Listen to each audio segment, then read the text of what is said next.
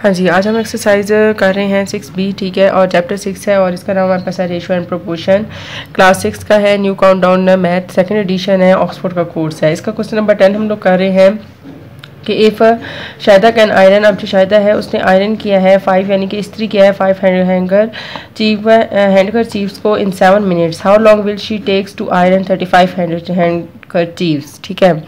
इन question को solve करने से पहले एक सॉरी दो टर्म्स हमारे पास हैं, वो मैं आपसे पहले डिस्कस कर लेती हूँ। एक डायरेक्ट है और एक इन्वर्स है, ठीक है? डायरेक्ट में क्या होता है कि दोनों चीज़ें या तो बढ़ती हैं या फिर कम होती हैं, ठीक है? और इन्वर्स में क्या होता है, अगर एक क्वांटिटी बड़ी है और दूसरी कम हो जाए, यानी एक बढ़ जाए और दूसरी कम हो जाए, या इसके उलट आ जाए, यानी कि एक कम हो जाए और दूसरी बढ़ जाए तो ये हमारे पास किसमें कहलाती हैं? इन्वर्स में कहलाती हैं, ठीक है?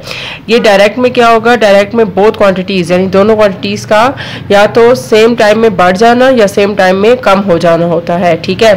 अब क्वेश्चन यहाँ पर देखें क्या कह रहे हैं।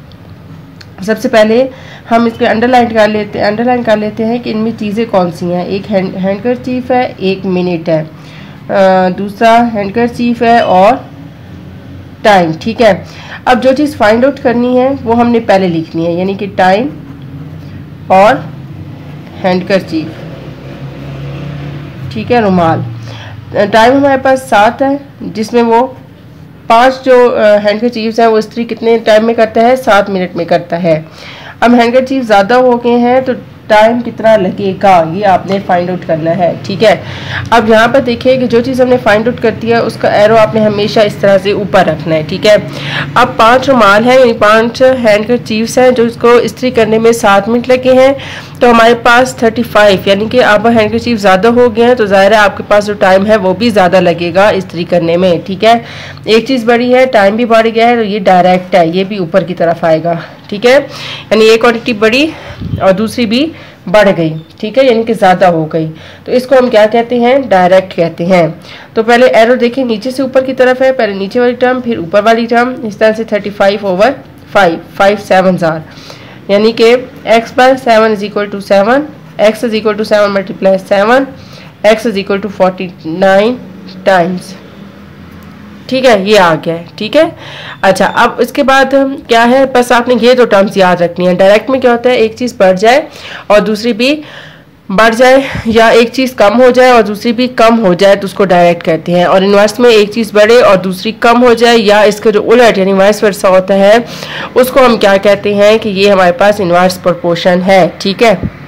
हाँ जी, अब इसका अलेवन क्वेश्चन देखते हैं, वो क्या है कि in a certain town the ratio of the number of cars to that of the taxis ठीक है, पहले कार है, फिर टैक्सी है, यानी कि ये रेशो जो है, ये कार की है और ये टैक्सी की रेशो है।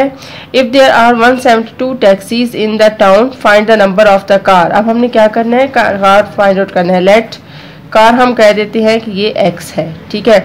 रेशो लिखते हैं फिफ्टीन रेशो फोर फिर प्रपोशा डालेंगे।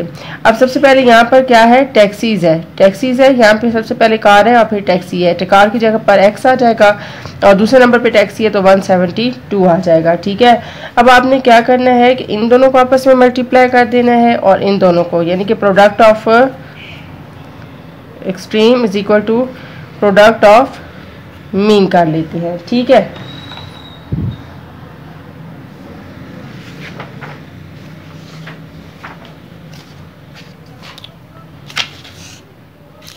अच्छा। प्रोडक्ट और मीन कर लेते हैं। अब हम इसको आगे इसको सॉल्व कर लेते हैं। इसमें क्या है कि पहले हम लोग 15 मल्टीप्लाई 15 मल्टीप्लाई 172 लिखते हैं। Is equal to 4 multiply X 4 multiply X आ गया। अब हम ये जो 4 है, इसको यहाँ पर डिवाइड कर देते हैं। 15 multiply 172 divided by 4 is equal to X cutting कर लेते हैं। मैं क्या करती हूँ कि जस्ट कैलकुलेशन जो है वो कैलकुलेटर से सॉल्व कर लेती हूँ, ठीक है? ताकि मेरा जो टाइम है वो सेव रह जाए और वीडियो लंबी ना हो, ठीक है? 15 multiply one seventy two and divided by four तो ये आ जाएगा 645 645 ये क्या आ गई? कार्स आ गई, ठीक है?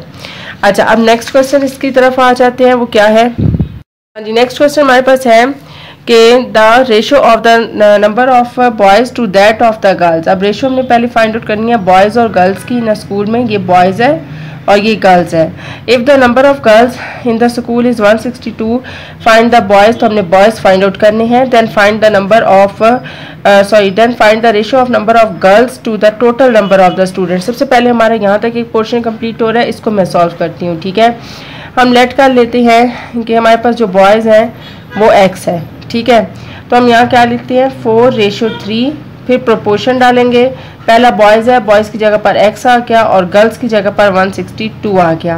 देन हम फिर से उसी तरीके से प्रोडक्ट ऑफ़ मीन और एक्सट्रीम लिखेंगे। थ्री मल्टीप्लाई एक्स ठीक है? अब हमने क्या करना है? ये जो थ्री है, इसको इधर जाकर डिवाइड कर देते हैं।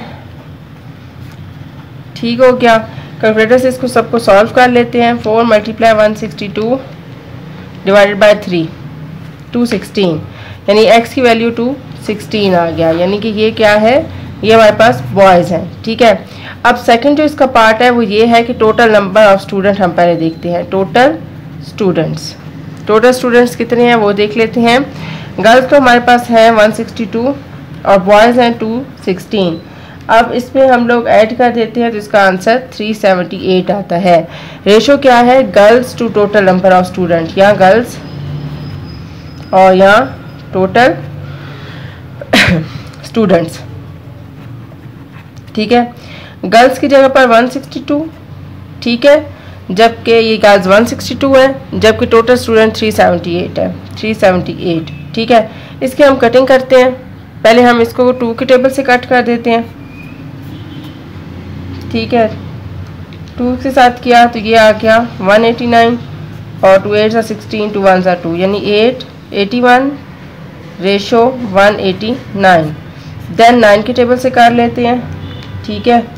तो ये आ जाएगा ट्वेंटी वन और नाइन नाइन और फिर हम इसको थ्री के टेबल से कर लेते हैं। ये थ्री रेशो सेवन आ जाएगा, ठीक है?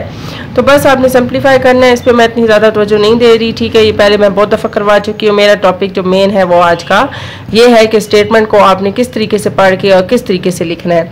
बस पहले आपने जब भी यहाँ से शुरू करना है, ये जो रेशो गिवन है तो यहाँ पे देखना है कि बॉयज़ की पहले है या गर्ल्स की पहले है, ठीक है? वो आपको इस स्टेटमेंट से पता चलेगा। देखें, पहले बॉयज़ है फिर गर्ल्स है। तो ये बॉयज़ हो गया और ये गर्ल्स हो गया, ठीक है? तो इस तरीके से आपने इन क्वेश्चन को सॉल्व करना है, ठीक है? अब इसका क्वेश्चन नंबर हम लोग थर्टीन की तरफ़ आते हैं, ठीक है? हाँ जी, इसको सॉल्व करने से पहले अगर आप मेरे चैनल पे नए हैं और अभी तक मेरे चैनल को लाइक और सब्सक्राइब नहीं किया तो काइंडली मेरे चैनल को लाइक और सब्सक्राइब करते हैं और अगर आपको मेरी वीडियोस अच्छी लग रही हैं और आपको समझने में आसानी हो रही है तो अपने फ्रेंड और फैमिली के साथ ज़रूर शेयर कीजिएगा और मुझे सपोर्ट करना मत भूलिएगा। एक हमली रिक्वेस्ट है आपसे कि चैनल को लाइक और सब्सक्राइब ज़रूर कीजिएगा और शेयर करना मत भूलिएगा। हाँ जी, आप क्वेश्चन नंबर थर्टीन की तरफ़ आते हैं। वीडियो तो स्किप मत कीजिएगा एंड तक ज़रूर देखिएगा। बहुत ही इंपॉर्टेंट क्वेश्चन है जो आज हम करने, कर रहे हैं, ठीक है? If two carpenter make a table in three days अब क्या है कि दो कारपेंटर है जो कि एक टेबल को तीन दिनों में बनाते हैं। How many days will it take will it take three carpenter to complete the table तो कितने दिन लगेंगे तीन कारपेंटर्स को मुकम्मल करने में टेबल अब यहाँ पे सबसे पहला जो काम होता है वो अंडरलाइन का होता है। कारपेंटर डेज़ कारपेंटर और डेज़ जो चीज़ हमने फाइंड आउट करनी है वो हम पहले लिखते हैं। डेज़ पहले आ जाएगा। और कारपेंटर बाद में, ठीक है? अब डेज़ कितने हैं? थ्री डेज़ है, दो कारपेंटर ठीक है? तीन कारपेंटर है डेज़ हमने फाइंड आउट करने हैं, ठीक है? अभी मैंने आपको बताया था, जो चीज़ फाइंड आउट करनी है हमने, उसका एरो आपने हमेशा ऊपर की तरफ़ रखना है, ये हमारा ऊपर की तरफ़ आ गया, ठीक है? अब देखिए, दो कारपेंटर हैं, जो कि एक टेबल को बनाने में तीन दिन लगाते हैं। अब कारपेंटर ज़्यादा हो गए हैं तो दिन क्या हो जाएँगे? कम हो जाएँगे, ठीक है? यानी आप लोग एक जिस तरीके से मिसाल के तौर पर दो आदमी हैं, ठीक है? और वो एक दीवार बना रहे हैं, ठीक है? और उस दीवार को मुकम्मल करने में उनको तीन दिन लग रहे हैं, ठीक है?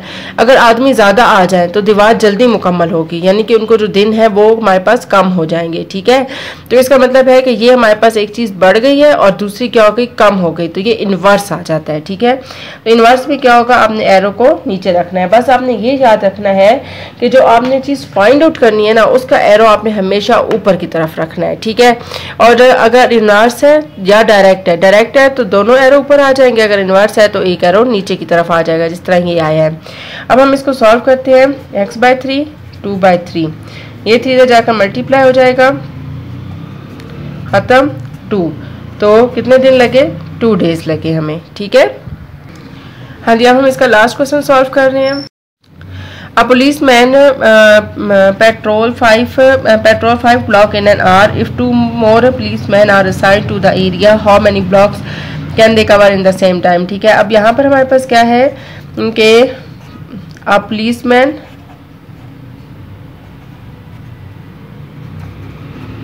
patrol blocks in an hour five आ गए ठीक है? अच्छा फिर two policemen are added then total number of policemen total number of policemen कितने हो गए? वन और प्लस टू तो ये थ्री आ गया। तो हमारे पास जो सा होगा हाउ मैनी ब्लॉक्स ठीक है? तो total number of blocks blocks कितने हैं? एक जो पुलिसमैन है वो फाइव करता है तो तीन जो से हैं पुलिसमैन कितने ब्लॉक करेंगे? फाइव और थ्री को मल्टीप्लाई कर देना है तो फिफ्टीन ब्लॉक्स आ जाएँगे। ठीक है? तो इस तरीके से आपने इन क्वेश्चन को सॉल्व करना है। प्रैक्टिस ज़रूर कीजिएगा। और एक हमने रिक्वेस्ट है कि मुझे फेसबुक पर भी और इंस्टा पर भी फॉलो ज़रूर कीजिएगा।